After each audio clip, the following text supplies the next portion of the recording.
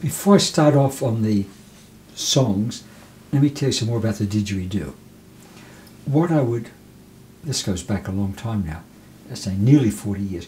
What I would do in, in the mornings very often is I'd play the didgeridoo. With circular breathing, you can go on for half an hour, an hour. And I'd play and play, and there'd be this whole pool of water there on the desk. And I realized that there were patterns, rhythmic patterns in me that wanted to be expressed. And when a pattern might repeat, sort of out of my control, over and over, and then of its own accord would start to change, and then change again and change again. And I, I thought it's because there's some pattern in my brain which has been put to rest. Now another one is coming up as being put to rest. I was like giving myself didgeridoo therapy, as it were, this way. In fact, when I would drive up to Boston, which was like a four hour drive, I have a little shortened didgeridoo and I play it and I get there and be all sort of water all over the dashboard. I'd be playing it the, the whole, again, these patterns would keep coming through and coming through. So when I started to look at poetry from this different point of view to how most people look at poetry, I, I started, uh, thankfully, I started with two, two, one, two poems in particular.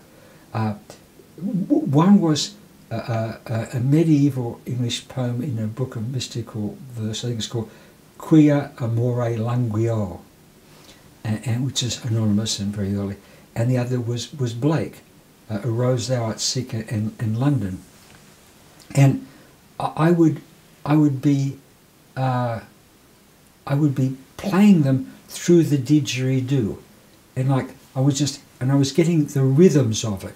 I was getting what was what was inside them, as if it was in my brain these same patterns trying to come through, and I could feel the patterns of Blake and then the patterns of this song, and then others. I started with a lot of Blake, and Blake has about the strongest pulse of any any poet, and I started off with that. You see, and, and then I realised that I was in a sense making music, but of course I wasn't. I was really just accentuating the, the, the rhythmic patterns that were already in the poem. And so I had, to say, I had about 3,000, I had an enormous poetry collection. And I would just go through every day, I'd just go through any number of these, I'd tape record on maybe an hour or two every day. Then I'd Xerox the pages and then, and then they'd be annotated out, which never worked because I, I don't do it in, in, in strict musical form, which is the problem that Maud Karpeles uh, had, for example, when she went to the Appalachians and she's taking, she's trying to notate the folk songs Appalachia, which is not done in, in, in you know in strict bar bar form and so forth. So that's always been the problem, which we still haven't really overcome satisfactorily. You, the, the musicians want the bar lines because they feel safe with them, other people don't want them because they feel embarred by them.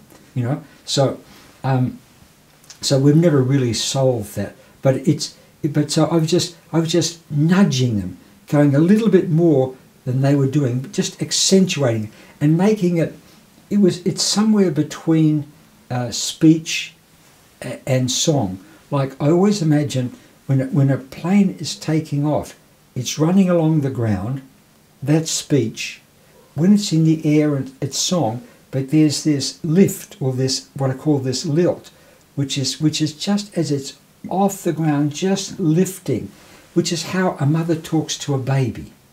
Um, you, you don't say to uh, uh, I, I, used to do this a lot in Germany because they they say, well, how do you speak? To, how do you ask your husband if he's saying, "Hast du Hunger?"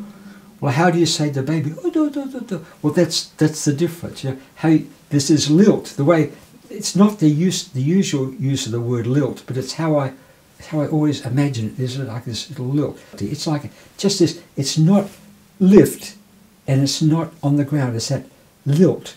That's what I was looking for. You see, and I get this this rhythm. I do this with many, many, many, many uh, uh, songs, and then I also did it with newspapers and magazines. You could start to find it sort of like anywhere once you sometimes with more difficulty than others but you could sort of you could sort of find this movement, this movement, all the all the way through.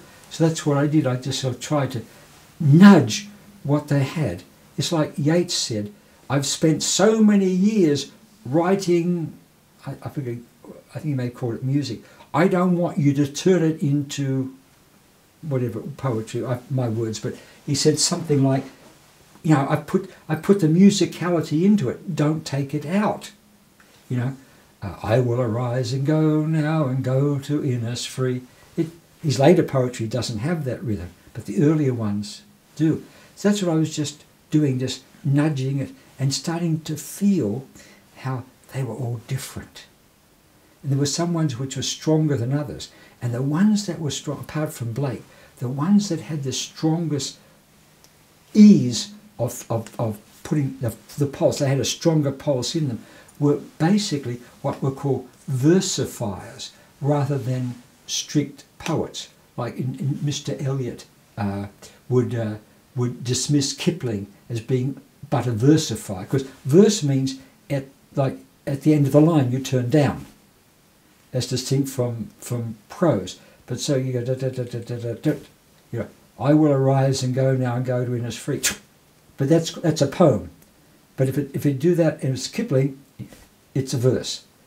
You, you understand because that's how Kipling made himself bigger than, than Kipling and uh, Eliot and so bigger than Kipling and so forth. So, but the versifiers were much easier to set because they were more speech-like and not so artifice. Uh, Kipling is an example. Uh, Lawson is a, uh, Scott, uh, uh, Lewis Carroll, uh, Conan Doyle, Dickens, and, and so on. And, and, and those that thought themselves as being great poets, by and large, were very difficult to set. Wordsworth is a classic example of that. and there were some, there's a beautiful example in this book I brought about this, where uh, uh, uh, Lewis Carroll takes a poem, he, he, he copies exactly the pulse form of Coronach, which was written by Scott, and he puts it to a, he puts it to a, a, fun verse thing, but take exactly uh, captures uh, Scott's uh, form, his pulse form. You see, and I did this for many many years with I go through whole passages of the Bible and, and, and all. I did it, oh, every day I did this, on and on and on and on and on for, for a long time. And I found there was some, say, much easier to do, and some you'd have to cheat a bit and take out a word or, and you found, with the exception of Blake, that if you had your accent on a unimportant word, there was either something wrong with me getting it wrong or something wrong with, with them. And I'd have to work out which one it was. And I, I, I spent hours just singing these things over and over. And, to, and walking with them was a big help. Because if you walked with them, you sort of get into this rhythm with them. And, and, and sometimes you'd have to cut out a word or do something. Uh, there's a famous story about, you know, Vaughan Williams set uh, Housman's on Wenlock Edge and Housman complained that, that Vaughan Williams altered the poetry. And he says, a damn good thing I did. Because he was looking for a pulse. But, they, but, but he imposed his pulse form on, on, on Housman, not releasing Housman's pulse form and maybe having to modify it just a little bit.